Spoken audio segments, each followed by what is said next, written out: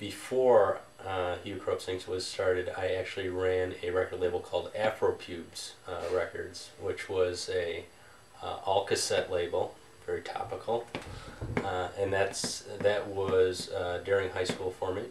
Afropubes, which uh, I would call AP Records, um, because my mom, for some reason, didn't understand what Afropubes were, uh, and would um, sort of mentioned to her friends very proudly that um, her son ran a record label called Afropubes, and they would look, you know. So, Well, if you're getting if you're getting packages in the mail that says Afro pubes on it, your mom's probably like, "What the hell?"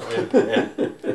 right when I was entering college, I started meeting um, more bands that wanted to put out releases that you know had a better chance of being distributed um, and uh, getting into stores and stuff like that. And that was um, somewhat difficult with cassette tapes.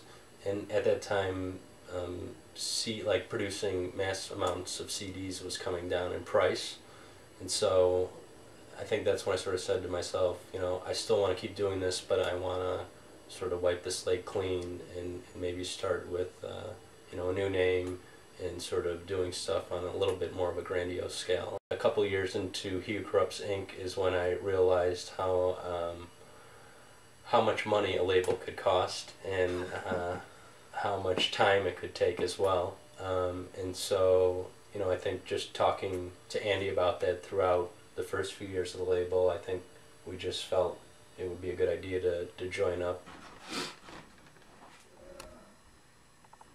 After, um, I think about two or three years ago, we released uh, a CD that uh, really dried up the funds.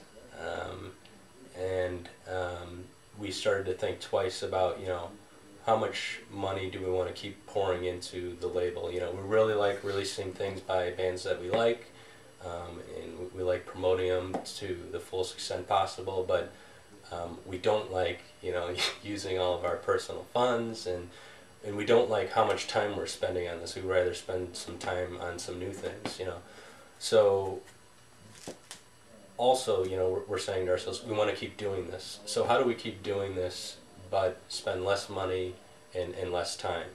Um, and so that's how we sort of came to cassettes. You know, um, cassettes were a way to work with artists um, in a way that sort of tore down many of the like the fiscal barriers. Um, and also some of the time barriers because we would be printing uh, less of a quantity. It's less stressful to you know sell the entire quantity you know and so uh, cassettes were just sort of a, a, a real logic, logical solution to our, our problem I mean, you could make a tape, and it could be you could spend like a hundred bucks, hundred fifty bucks, and make like fifty or seventy five tapes, and they'll look awesome. Like they they look good. Like the packaging looks good, the tape looks professional, right?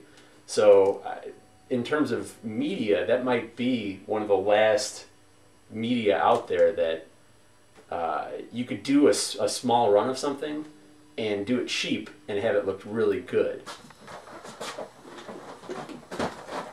Andy and I have never been too good at art I mean I, I'm okay at art but Andy's horrible at, Yeah, I mean- artwork just kidding um, but I mean I think even when we were doing CDs um, we always left the art to the band so whether they would do it themselves or that they would have um, someone they know do the artwork I mean, you know, there's there's some labels obviously that have you know artistic talents. Uh, that's I don't think that's ever been our, our strength. No, not really. But you know, I I think both of us always agreed that we would never want to force any sort of art concept on on a band, and so we would just go to them and say take it from there. And luckily, we've never had any problems with it. Yeah, and I think bands too. Um, they they they're good at knowing people who could do really good artwork for them. Um, I, there might have been like maybe one or two bands that consulted that talked to us to see you know who could who could you guys get to do artwork for us. But I think for the most part, a lot of the bands either had someone in the band to do it or knew of someone who could you know do a really good job. I'm just looking at this. recording music has is becoming you know extremely easy, more easy than it's ever been in the past, and I, and I think releasing music is more easy than it's ever been in, in the in the past, and because of that, I think musical formats like cassettes and um, uh, zip drives or, or all these sort of you know um, either uh, retro or very unique musical formats. I think it you know having um, this this ease of, of recording and releasing really uh, gives the chance for them to exist into the future, right? Because I, I think there's always a situation where uh, cassettes could be um, the appropriate um, medium to release something on, or you know, CD could a CDR could be the appropriate medium. You know, I mean, I, I'd like to think that it it, it, it will sort of uh, stay there or even even grow as you know more people record music and more people release music. I think with the internet, there's there there might be like such a pressure to have something like come out that's so professional looking, but that costs money, right? So maybe with a cassette, if it doesn't cost as much money, you could still you know get something, have someone start small, kind of work their way up where they're doing cassettes. Maybe they'll do what other whatever formats out there in you know a couple of years. If it's a format, if it's just digital and people listen to everything on their you know cell phones or whatnot, but I think with cassettes, it, it could be a very good starting point for people that are younger, you know, to start to release their friends' bands and stuff like that. Cavity. Cavity was a good band.